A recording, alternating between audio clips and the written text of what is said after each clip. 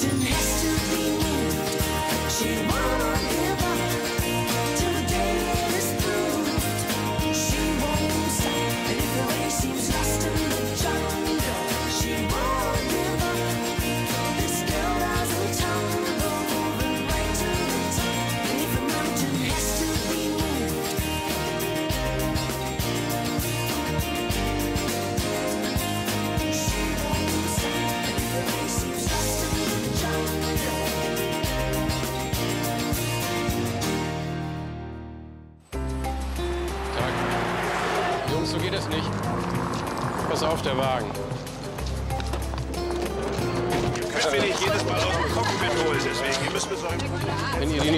Ladet, könnt ihr die auch leichter schieben. Wenn du uns helfen würdest, wären wir schneller fertig. Weißt du, dass ich nicht mehr tragen darf? Immer dieselbe Arie. Ist die Sache noch nicht geklärt? Das habe ich dir doch hundertmal gesagt. Morgen. Ich muss einen günstigen Zeitpunkt abwarten, bis mein Vater... Er will nicht, dass ich Doorman werde. Er will, dass ich sein Geschäft übernehme. Was willst du? Ist doch dein Leben, oder? In drei Tagen bin ich hier weg, Lou. Aber das Du und Schmolli, das bricht mir fast das Herz, ewig. Das ging alles so schnell. Wohnung in Berlin habe ich schon. Floris Schule ist auch klar. Wir alle sind schon die ganze Zeit damit beschäftigt, was wir für euren Abschied machen. Bloß kein Aufstand. Na, hör mal, die Treuesten gehen, da weint das Volk. Mir ist das alles gar nicht so recht. Ich würde am liebsten einfach meine Sachen packen und ganz still fort. Wart's nur ab. Kann ich Ihnen helfen? Gerne.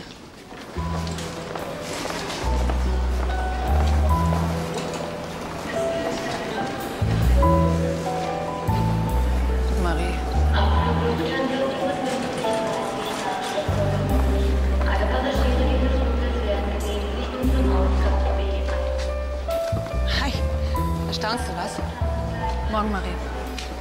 Ich wollte dich überraschen. Ich dachte, vielleicht freust du dich, wenn jemand da ist. Danke. Iris, ich möchte mich bei dir entschuldigen. Es tut mir wirklich leid, dass ich dich so behandelt habe.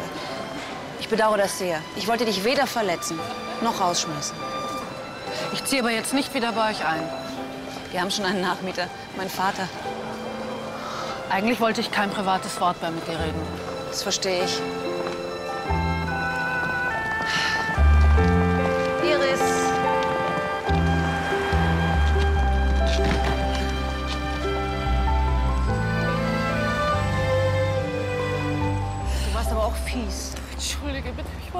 Außer mir.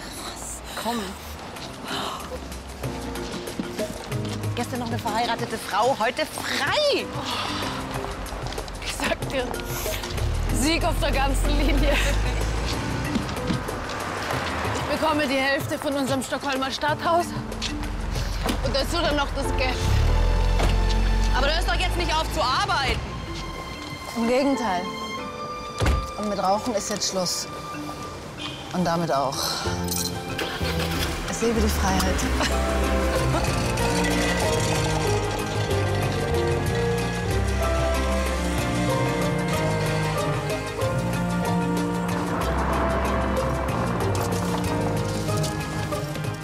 Ich werde das vermissen, Schmolli. Ich auch, Herr Schäfer. Schon entschieden? Ich rechne mit Ihnen, Luke. Morgen. Morgen, Frau Hansen. Ich nehme das persönlich, dass Sie gehen. Sie brauchen ein Taxi? Ein Geschenk.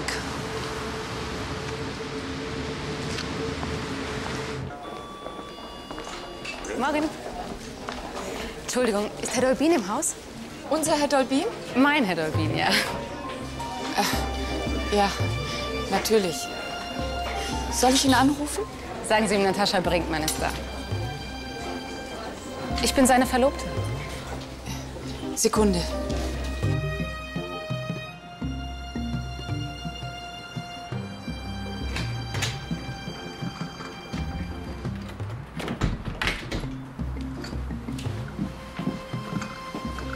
Tai Chi, Sie brauchen sich nicht zu entschuldigen. Ich entschuldige mich auch nicht. Ich kenne das.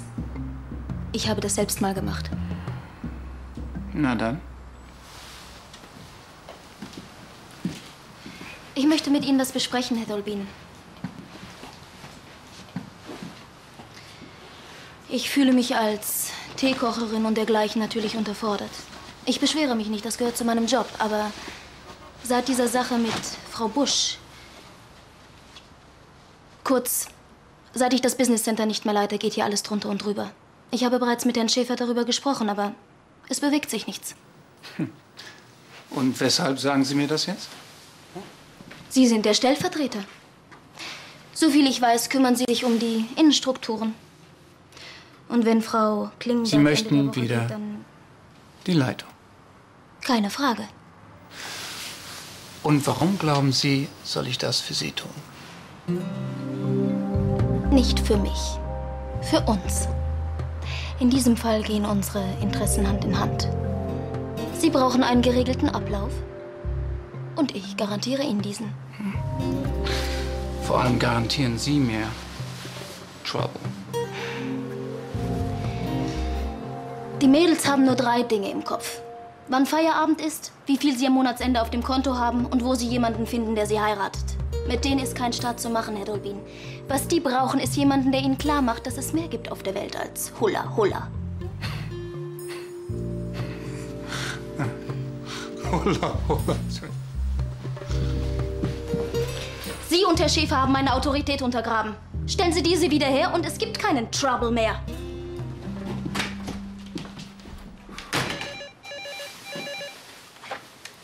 Dolvin, Christian, komm rein. weshalb rufst du nicht vorher an? Guten Tag, liebe Natascha. Herzlich willkommen in meinem neuen Hotel. Entschuldigung. Was ist los? Müssen wir im Flur stehen bleiben?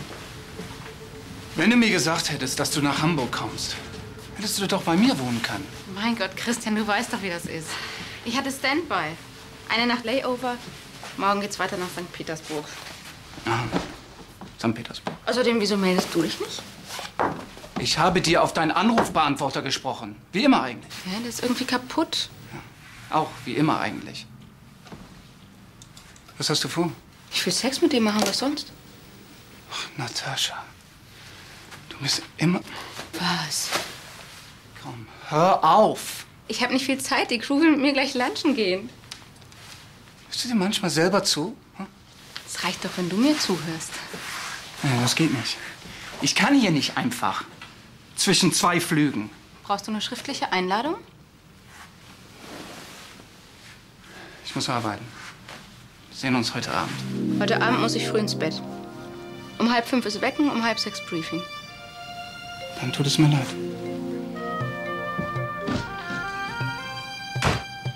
Das wusste ich ja gar nicht. Na, der ganze Dolbin ist doch ein einziges Geheimnis. Keiner weiß was über ihn. Außer die Hanson vielleicht. Jedenfalls sagt diese Stewardess, ich bin seine Verlobte. Hm. Hätte man sich ja denken können, dass so ein netter Mann kein Junggeselle mehr ist. Für 800 nehme ich ihn. Sehr gerne, Madame. Sie haben ein sehr schönes Geschäft. Ich habe es mir alles selber aufgebaut. Ich bin sehr stolz darauf. Herr Schäfer hat mir gesagt, Das ist unser Direktor. Ich weiß, wer das ist. Du hast oft genug von ihm erzählt. Der Junge spricht nur über das Hotel. Er ist ganz besessen davon. Besessen, sage ich ihm. womit wir beim Thema wären. Deswegen sind sie hier. Deswegen hast du sie hierher gebracht. Ihr Sohn hat mir gegenüber kein Wort verloren. Herr Schäfer hat mir gesagt, dass es nicht Ihren Wünschen entspricht, dass Ihr Sohn bei uns dormen wird. Haben Sie Kinder? Haben Sie einen Sohn? Gott bewahre. Er soll nicht sein Leben lang vor der Tür eines Hotels stehen. Ich möchte gerne, dass er eine gute Zukunft hat. Wie Atalais. Wir haben hart dafür gekämpft, dass... Mein Mann hatte Kinder aus erster Ehe. Ich war damals Kindermädchen. Gottchen, das ist 100 Jahre her. Es hat sich irgendwann herausgestellt, dass die Kinder kein Interesse an der Hotellerie hatten und auch keine Eignung. Sie wollten eigene Wege gehen. Mein Mann hat sie gelassen. Und das war sehr klug. Er ist kürzlich verstorben. Das tut mir leid. Sie haben Ihren Anteil am Vermögen geerbt und leben am anderen Ende der Welt und sind glücklich. Wollen Sie, dass Ihr Sohn glücklich wird?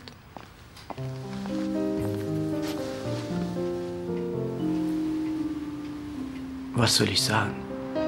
Ich meine, das ist Ihre Privatangelegenheit und ich möchte mich nicht einmischen. Aber wenn ich einen jungen Menschen sehe, der talentiert ist und der zudem eine Chance hat in unserem Konzern. Er macht seine Sache gut, sagen Sie? Na, fabelhaft. Er macht Karriere. Wir haben Häuser in Amerika, in Europa. Willst du das? Ja. Natürlich will er. Ich will ja nur, dass Luke ein zufriedenes Leben führt. Tja, was du hier zurücklässt, weißt du. Was du dafür kriegst, ist ungewiss. Wie das Leben.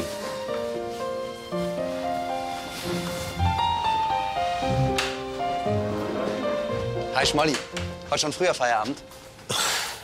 Auf das Geschenk bin ich gespannt, du Schlitzohr. Gleich zu deinem Vater ins Geschäft zu schleppen. Es hat sich voll ausgezahlt. Sie hat mit ihm geredet. Und? Er ist einverstanden. Alles klar, Mann. Ich bin dein Nachfolger. Der neue Doorman vom Grand Hanson. Es freut mich für dich, Luke. Es freut mich.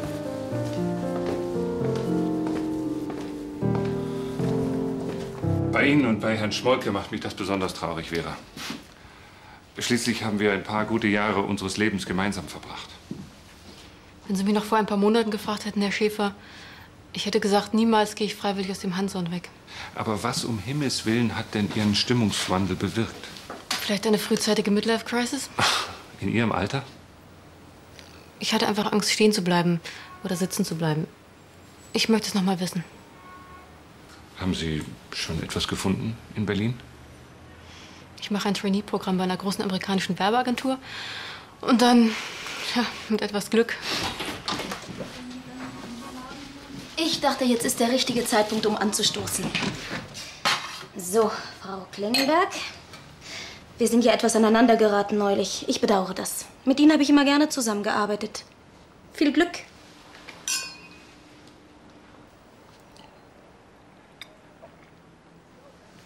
So, dann hätten wir das schon mal vor dem großen Abschlusstrubel. Verzeihen Sie die Störung.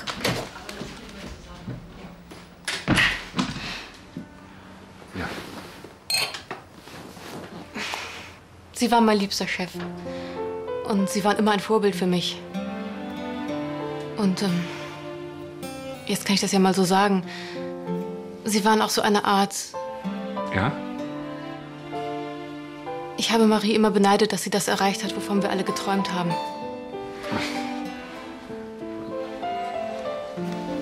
Ja. Korrespondenz bringe ich Ihnen in einer halben Stunde. Telefonate sind keine mehr offen, Termine alles à jour. Vera? Sie haben etwas, was heutzutage nahezu verloren geht.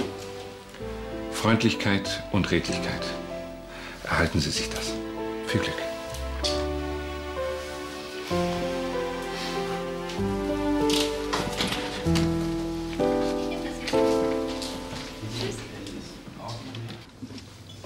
Du, du und deine Zweifel, Marie. Er tut nichts. Dann tu du doch was. Ich brauche doch manchmal auch ein bisschen Hilfestellung. Was meinst du mit Hilfestellung? Es gibt unendlich lange Wartelisten. Offensichtlich gibt es noch sehr viel mehr Ehepaare, die auf der Suche sind. Weißt du, man, man müsste die Sache auch mal von der anderen Seite anpacken, nicht nur über diese Behörde. Habt ihr eigentlich schon mal über eine Auslandsadoption nachgedacht? Iris, wir haben über alles nachgedacht. Also, mein Ex-Mann und ich, wir haben ein Kinderheim unterstützt in, in Chile. In Vina del Mar. Ach, ist eine wunderschöne Gegend. Die Berge, das Meer. Herrlich. Ja, und dort sind eben diese armen Kinder. Naja, wir wissen alle gar nicht, wie gut es uns geht. Manchmal doch. Also, dieses Heim heißt Hogar de Esperanza. Heim der Hoffnung. Heim der Hoffnung. Das habe ich doch schon mal irgendwo gehört. Du, wir müssen. Die Hanson Oh Gott, killt mich ja. sonst. Paulino, zahlen bitte. War alles gut? Wunderbar. Wie immer. Vielen Dank und viel Gruß an Ronaldo. Sag ich ihm, danke.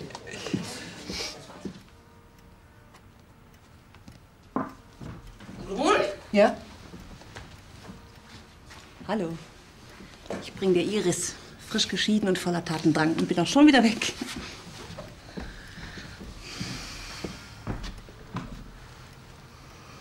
Herzlichen Glückwunsch. Ich wusste nicht, was für eine Erleichterung es ist, ohne Mann dazustehen. Es tut mir leid, es war taktlos. Der Katzenjammer kommt sicher später. Ich bin so froh, dass Sie wieder da sind. Ihr altes Zimmer habe ich Ihnen herrichten lassen. Das ist für Sie. Ich habe Sie sehr beansprucht in letzter Zeit. Ich möchte damit meine Dankbarkeit ausdrücken. Das wäre nicht nötig gewesen. Ja, was nötig ist und nicht, das bestimme ich.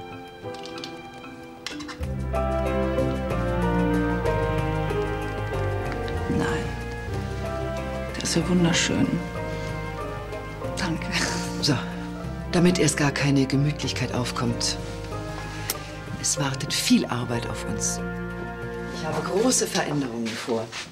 Ich bitte, dass das unter uns bleibt. Was denn? Ich habe Pläne. Große Pläne.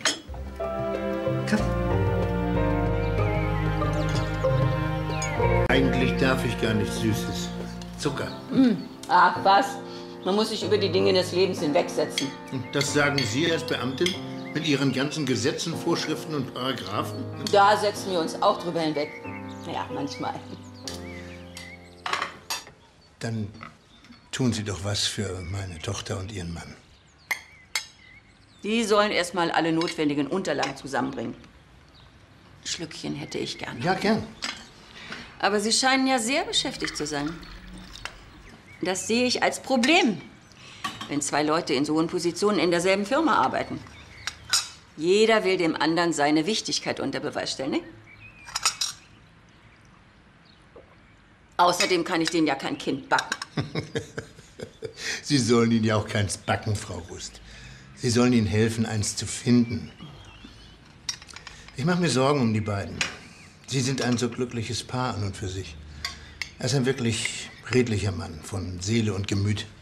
Charme hat er, das ist wahr. Und meine Tochter? Ich wüsste keine bessere Mutter. Sie hat so viel von meiner Frau. Ehrlich und gerade, mutig und häuslich. Ja, sie kann gut mit anpacken und äh, ist eine kluge und umsichtige Frau. So ein kleiner, einsamer Wurm, der hätte hier ein wunderschönes Zuhause. Allein der Garten. Was für ein Paradies für ein Kind. Guten Tag, Frau Rust. Entschuldigung. Wir sprechen gerade von euch. Wir haben Sie schon sehnlichst erwartet. Ja, wir wir haben uns etwas verspätet, tut mir leid, ehrlich. Aber im Hotel. Aber bei einem Kind geht sowas natürlich nicht, ne? Ich hole uns schnell frischen Kaffee und Geschirr. Mariechen, das mache ich. Meine Tochter hat mir nämlich vorgeworfen, ich würde mich zu wenig beteiligen am Haushalt. Aber ich sehe, Sie haben sich gut unterhalten. Ihr Vater hat sich mächtig für Sie ins Zeug gelegt. Hat er. Äh, Haben Sie unseren Fragebogen bekommen? Leider nein.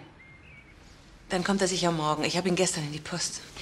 Uns wird immer nachgesagt, die Wartezeiten sind zu lang. Was ist denn mit Ihnen? Wie ernst ist es Ihnen überhaupt? Wir haben das oft genug diskutiert. Vergiss leider, dass ich einen Job habe. Ich bin neu bei Hansan. Ich kann nicht Ja, einfach... du wolltest ein Jahr Pause machen. Es hat sich nun aber anders ergeben. Ja. Und ehrlich gesagt, es macht mir Spaß. Weil du ein Workaholic bist. Du hast ja auch nur deine Fliegerei im Kopf.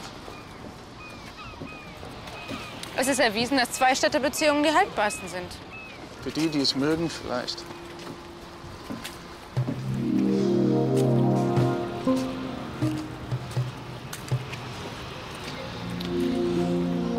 Magst es nicht. Das weißt du doch. Ich weiß aber auch, dass das nicht der wahre Grund ist. Wofür? Dass unsere Beziehung so scheiße ist.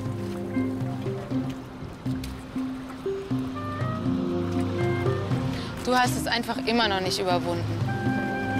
Du bist einfach nicht in der Lage, eine Beziehung zu führen. Jedenfalls nicht eine so oberflächliche. Ach, red dich doch nicht raus. Was wäre denn, wenn ich meinen Job aufgeben und zu dir ziehen würde? Was wäre denn, wenn ich wirklich Ansprüche anmelden würde? Sei doch mal ehrlich. Du hast Angst vor der Verantwortung. Du bist genauso, wie du aussiehst. ein großer Junge. Knuffig, schluffig und gestört. Ich bin dafür, dass wir endlich eine klare Entscheidung treffen, Natascha. Nun glaub doch nicht, dass ich das nicht verstehe, Dejan. Was meinst du, wie sehr deine Mutter und ich uns freuen würden, ein Enkelkind zu kriegen? Bloß, ich meine ja nur, Was? nee, was heutzutage angestellt wird von der Frauenslüd, um Kinder zu kriegen. In vitro. Das war doch zu meiner Zeit undenkbar. Ist doch toll, dass es heute solche Möglichkeiten gibt. Und dann Leihmütter. Das ist illegal. Ach, die Ärzte machen doch alles, was geht. Jetzt hier diese Sache neulich da mit dieser 60-jährigen Italienerin, deren Arzt zu einer Schwangerschaft verholfen hat. Ne? In was für einer Zeit leben wir denn eigentlich? Wo führt das hin? Kinder auf Bestellung, Kinder per Internet, jetzt auch noch Klonen und du bist genauso unsensibel wie diese Else vom Jugendamt. Diese, diese, diese Westentaschenpsychologen, die einen überprüfen auf Herz und Nieren, die mit ihrem misstrauen. Jetzt kommst du auch noch mit deinen Weisheiten. Sag mal, kann man mit dir denn über nichts mehr normal reden? Normal, ja. Was ist denn hier los? Ich bin sauer. Er macht mich an wegen des Themas Adoption. Ich möchte mal wissen, was wir alles falsch machen, dass sich alles gegen uns stellt. Also, ich leg mit dir mal hin. Nachterdings. Niemand hat uns versprochen, dass es leicht wird, Marie. Ich weiß. Stell es dir vor wie eine Prüfung in der Schule. Du denkst, du kennst alle Antworten, aber immer wieder werden dir Fragen gestellt, die dich aus der Kurve hauen. Das Geheimnis ist, gelassen zu bleiben und äh, nie das Ziel aus den Augen zu verlieren. Ich will doch nur ein ganz kleines bisschen Unterstützung von unserem Umfeld. Erwartungen darfst du auch nicht haben, das sage ich dir immer wieder.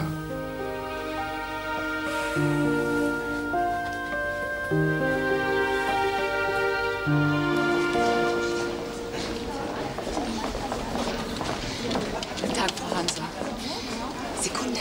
Morgen. Herr Dolbin, Ihre Verlobte hat den hier beim Nachtportier in der Frühe. Danke. Bin wieder dran. Aber ich sag dir gleich, Sandy, Zeit zum Sammeln habe ich keine.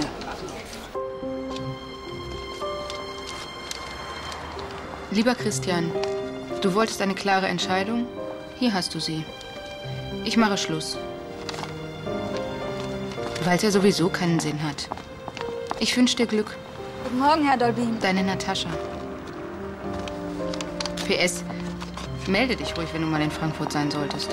Geht es Ihnen nicht gut?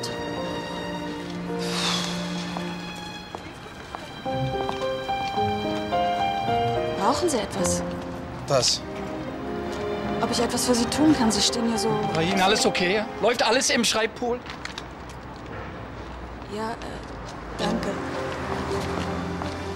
Schönen Morgen, Frau Malek.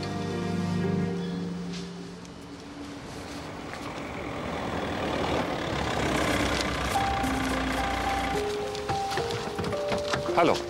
Hallo. Morgen. Wo ist denn der Schmolke? Der hat doch erst morgen seinen letzten Tag. Vielleicht kommt er später. Wir müssen uns noch was einfallen lassen für ihn und Vera. Wir müssen die beiden noch feiern. Feiern. Ja.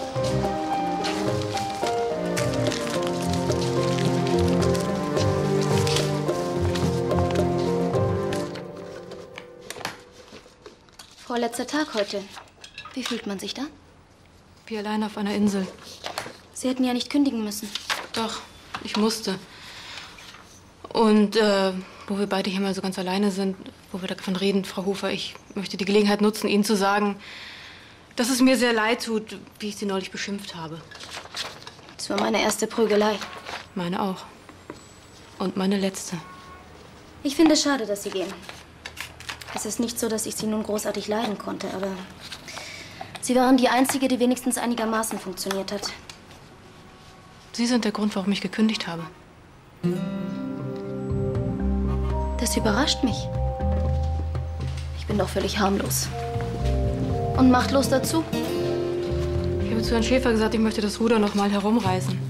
Aber der wahre Grund ist, ich habe die Nase voll von Menschen wie Ihnen. Ich habe die Nase gestrichen voll davon, von morgens bis abends kämpfen zu müssen. So viel kostbare Energie geht dabei verloren wegen Solche Nichtigkeiten wie Neid, Missgunst und Machtgier. Ich schäme mich, dass ich mich habe hinreißen, dass ich mich auf ihr Niveau habe herunterziehen lassen. Ach, wissen Sie, Neid, Missgunst und Machtgelüste. Das sind keine Erfindungen von mir. Das wird Ihnen in Ihrer Berliner Werbeagentur ebenfalls begegnen. So ist eben das Arbeitsleben. Seien Sie froh, dass Sie durch mich so viel davon gelernt haben. Hi-ho. Damit Ihnen die nicht ausgeht. Sie fressen doch neuerdings so gerne Kreide, oder?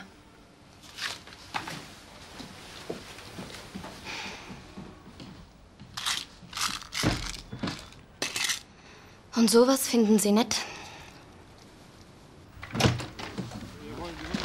So, da bin ich. Nehmen Sie doch Platz. Hat Herr Dolbin mit Ihnen gesprochen? Hat er. Hat er. Ihnen muss ich ja nicht erklären, was das damals für eine Ungerechtigkeit gegen mich war. Diese Sandy Bush hatte Sex mit einem Gast. Ich habe sie dabei entdeckt. Normalerweise hätte sie gehen müssen. Dann unterstellt sie mir eine Intrige und alle glauben ihr. Ich nicht, Frau Hofer. Darum hoffe ich auch, dass Sie das bald wieder zurechtrücken. Ich spreche mit Frau Hansson. Gut, sonst müsste ich das tun. Sie haben einen Freund in mir. Ich brauche keinen Freund. Ich brauche Gerechtigkeit. Sie bekommen beides. Vielleicht könnten wir uns einmal nach Feierabend ausführlich unterhalten. Wenn mich das weiterbringt? Auf alle Fälle.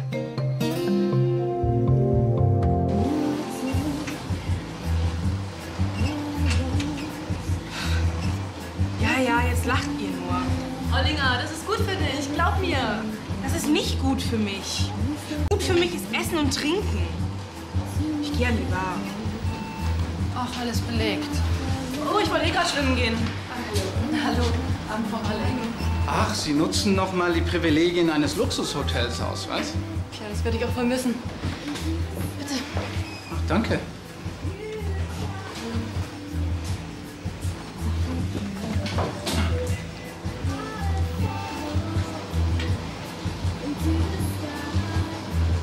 Ich habe vielleicht eine Wohnung für Sie. Sie wollen mir helfen? Warum nicht, Frau Sandberg? Naja, bisher waren wir uns ja auch nicht so herzlich verbunden. Ja, was nicht ist. Was nicht ist, kann ja noch werden.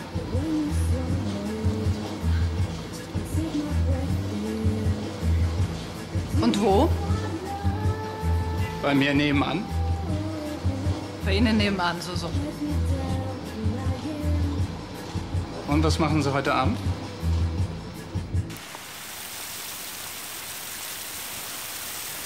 Zwei Jahre. Hm? Zwei Jahre waren wir zusammen. Mehr oder weniger. Eher weniger. Sie lebt in Frankfurt. Meistens ist sie herumgeflogen. Ich habe in San Francisco gearbeitet. Schöne Stadt. Ja, ich bin da geboren. Meine Mutter ist Amerikanerin. Und mein Vater, der stammt aus Köln. Der ist Zahnarzt. Haben Sie Geschwister? Einen Bruder, Ah, ich auch. Jünger oder älter? älter. Ich bin das Nesthäkchen sozusagen. Das sieht man Ihnen an. Aha. Hm, Nesthäkchen. Hey. Sie haben so etwas ähm, Verwöhntes im Blick. Sie strahlen so etwas Behütetes aus. So kann man sich verstellen. Sie würden doch nie etwas ähm, Unvernünftiges tun, etwas Verrücktes. Dazu sind Sie viel zu vorsichtig und bedächtig. Das meinen Sie? Also barfuß? Das kann ich auch. Wenn das für Sie verrückt ist und unvernünftig, da halte ich mit.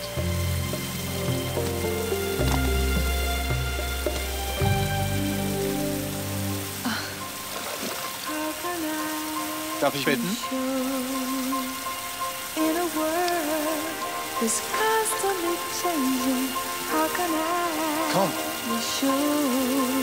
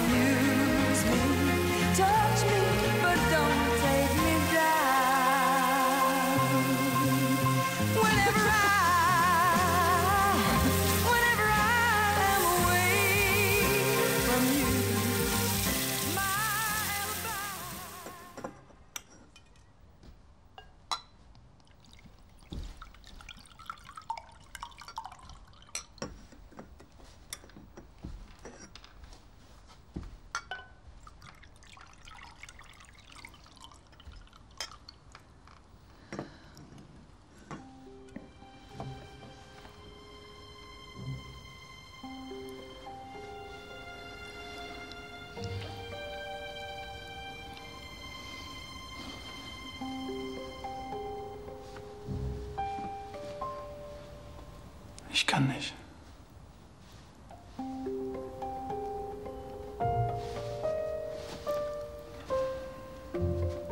Nimm es mir nicht übel.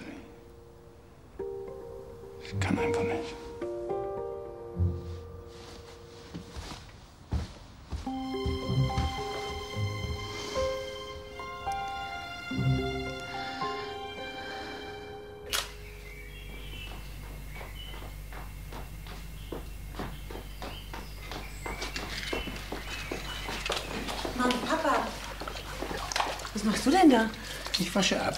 Wir haben eine Spülmaschine. Ich bin seit 50 Jahren Spülmaschine. Hat weder mir geschadet noch dem Geschirr. Oh, da ist aber jemand fleißig. Moin, mein Junge. Marie, wir wollten doch noch vor dem Büro einkaufen gehen. Hm, hasse diese Hetzerei am frühen Morgen. Erich, am Ende werden wir dich gar nicht mehr gehen lassen wollen. Deswegen ja. Das ist heute meine Abschiedsvorstellung für euch, Kinders. Wieso das denn? Zu Hause wartet doch keiner. Ich bin eben von der alten Schule. Bei uns hieß es noch, Fisch und Besuch stinken nach drei Tagen. aber du bist doch kein Besuch. Lieber heute gehen, dann freuen sich alle, wenn ich morgen wiederkomme.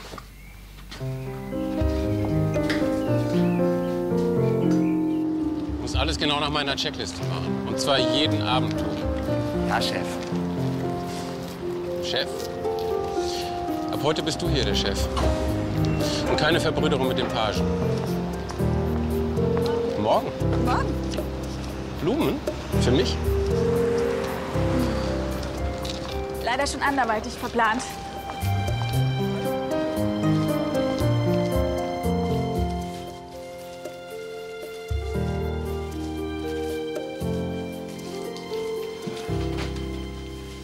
Frau Malek. Was ist das denn? Das sind Blumen. Für mich? Ich wollte Ihnen eine Freude machen. Sie sind nett. Danke.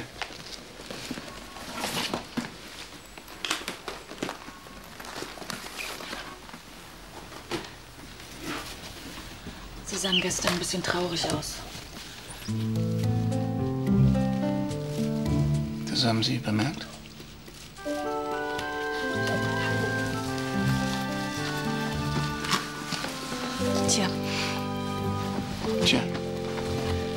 Die Pflicht ruft. dann wollen wir mal auf Sie hören, was? Ja. Also dann. Also dann. Eben war sie noch offen.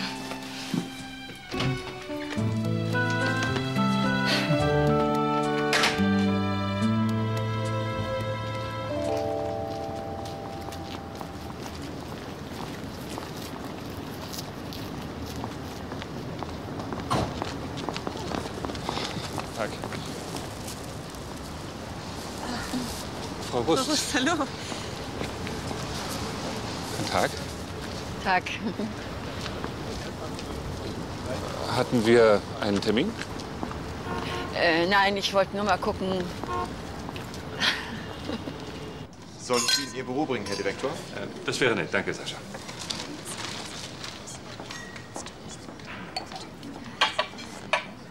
Luxus. Personal, herrlich. Sie haben es gut. Wenn Sie jeden Tag hier wären, wüssten Sie, das ist auch nur ein Arbeitsplatz. Aber was für einer. Haben Sie auch einen Betriebskindergarten? Nein. Nein. Noch nicht. Ich habe Ihre Fragebögen bekommen.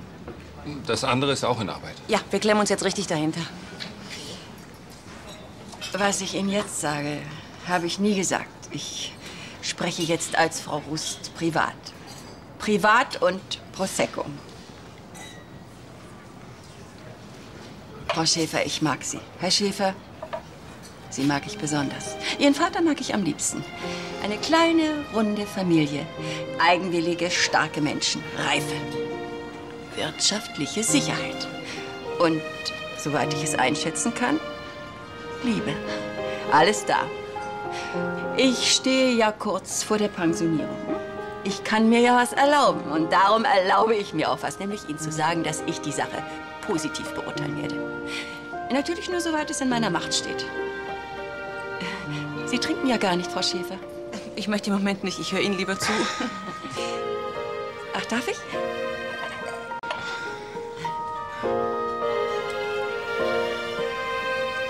Ich werde also einen positiven Sozialbericht schreiben.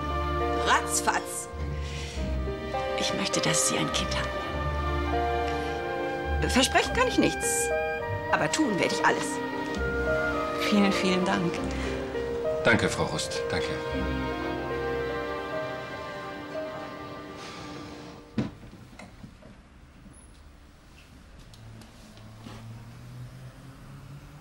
Sie wollten mich sprechen?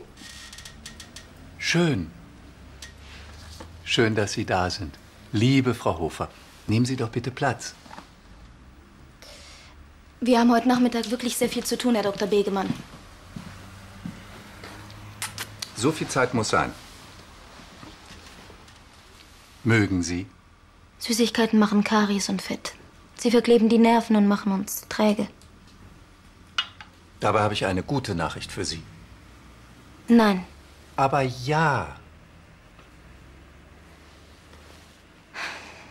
danke. Dankbarkeit, Frau Hofer, ist eines der wichtigsten Instrumente menschlichen Umgangs. Sie werden es mir sicher erlauben, dass ich Sie gelegentlich daran erinnere, dass Sie mir gegenüber zur Dankbarkeit verpflichtet sind.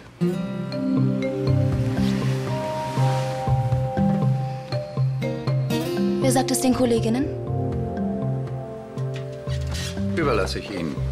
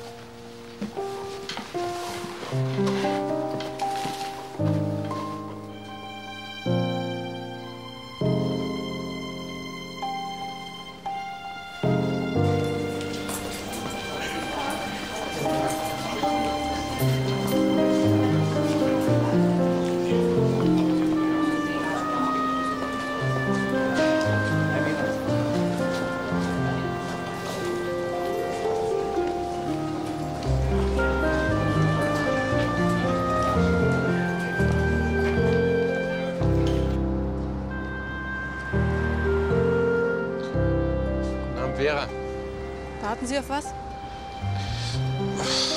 Nein, Gehen wir da noch was trinken zusammen? gerne, Vera. Gerne. Kommen Sie.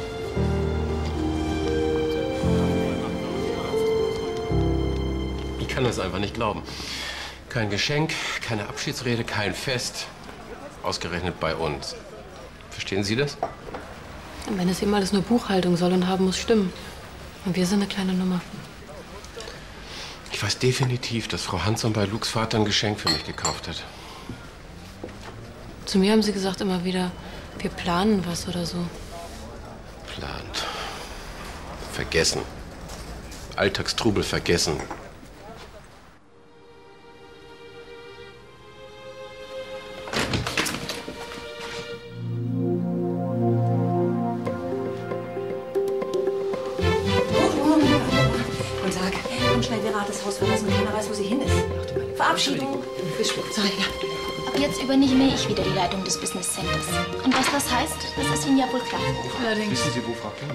Sie schon weg?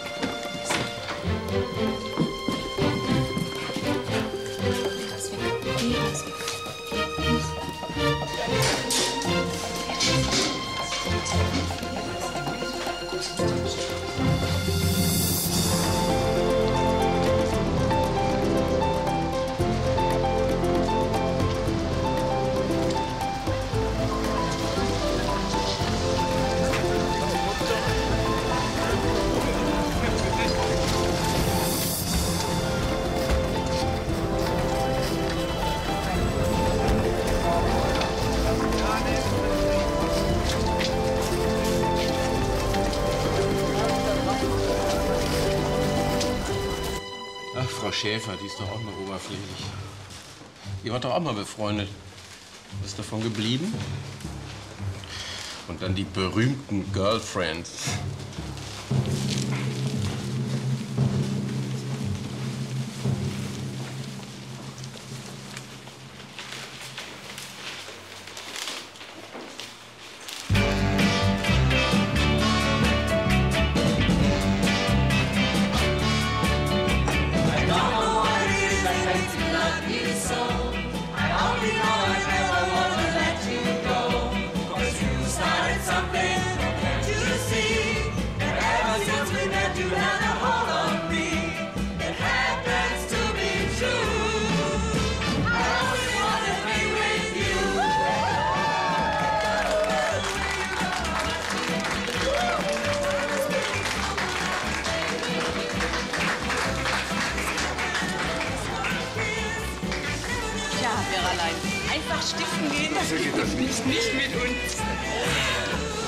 Einfach.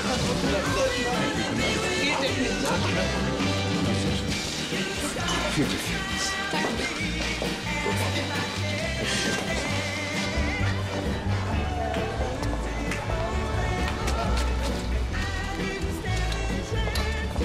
Christian, was hast du? Nichts. Ich habe nichts. Ich brauche frische Luft. Wenn dir das irgendwie unangenehm ist, was letzte Nacht passiert ist, dann Es ist ja nichts passiert, oder? lass es uns doch einfach vergessen. Ich verstehe dich nicht, du bist so komisch. Sag mir doch, was los ist. Bitte, Ich will Christian. darüber nicht sprechen. Es ist zu tief.